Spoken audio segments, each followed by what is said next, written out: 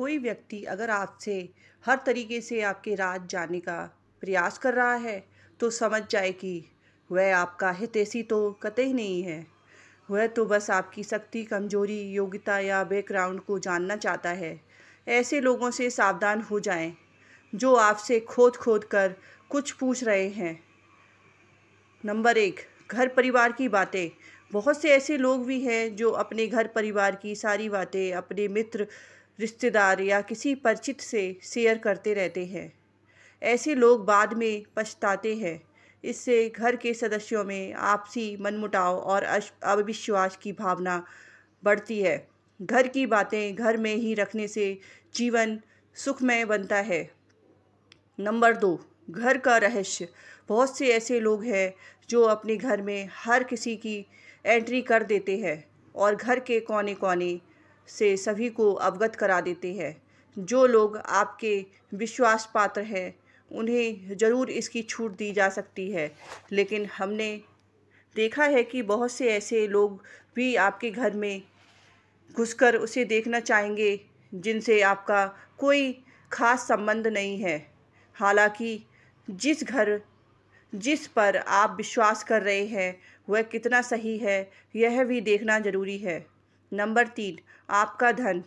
जो जा, जो लोग जानना चाहते हैं कि आप कितना कमाते हैं, यदि आप धीरे धीरे नहीं बताएँगे, आप सीधे सीधे नहीं बताएँगे तो ये लोग दूसरे तरीके से पूछताछ कर, करके अनुमान लगा लेंगे। हालाँकि आप अपने धन को जितना हो सके गोपनीय रखेंगे तो आपके लिए ही अच्छा होगा। इसलिए नहीं कि लोग कर्ज मांग लेंगे और फिर लौटाएँगे नहीं।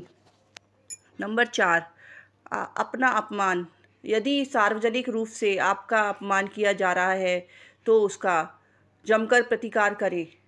फिर भी व्यक्ति को बहुत से मामले में कभी कभी मजबूरीवश अपमान झेलना पड़ता है।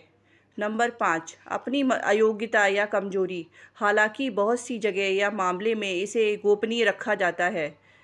गोपनीय रख, घातक भी सिद्ध हो सकता है। लेकिन बहुत से मामलों में इसे उजागर करने से आपको लोग कमज़ोर समझकर आपके साथ गलत व्यवहार करने लगेंगे या आपको मानसिक रूप से दबाने लगेंगे। नंबर छः मन की बात। मन में बहुत सी ऐसी बातें हैं, होती हैं जिनको जगह ज़ाहिर करने से आप अपने आसपास संकट खड़े कर सकते हैं। हो सकता है कि आपके मन में किसी बात को लेकर अवसाद हो, क्रोध हो या घृणा हो। मन में हज़ारों तरह के विचार उत्पन्न होते हैं, लेकिन बुद्धिमान मनुष्य उन्हीं विचारों को व्यक्त करता है जो उसके हित में होते हैं। नंबर सात, गुरु मंत्र, साधना और तप। यदि आपने किसी योग गुरु से दीक्षा ली है तो उसके द्वारा किया गया गुरु मंत्र गोपनीय रखें। हालाँकि गुरु मंत्र कई प्रकार के होते हैं। जैसे किसी में, किसी ने आपको कुछ ज्ञान दिया या कुछ हुनर सिखाया हो। नंबर आठ, दवा। आप यदि किसी भी प्रकार की दवाई खाते हैं तो उसे गोपनीय रखें। माना जाता है कि दवा का असर भी तब तक रहता है जब तक वह गोपनीय है। हालाँकि कुछ लोग इसे छुपा कर रख सकते हैं।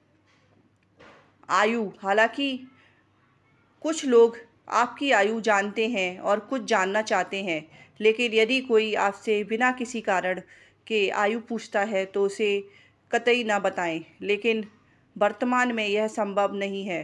लाइसेंस, पासपोर्ट या अन्य किसी कार्य के लिए फॉर्म भरने में इसका खुलासा करना ही होता है। लेकिन कभी कभी ऐसे मौके या स्थान होते हैं जहाँ आयु बताना ज़रूरी नहीं होता।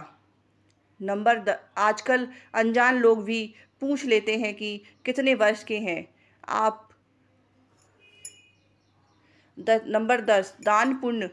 आपने जो भी दान किया है, उसे गुप्त रखेंगे तो ही उसका लाभ मिलेगा, मिल सकता है। गोपनीय दान देवताओं की नज़र में रहता है और जिस दान का अवखान किया जा रहा है, उसका फल निष्फल हो जाता है।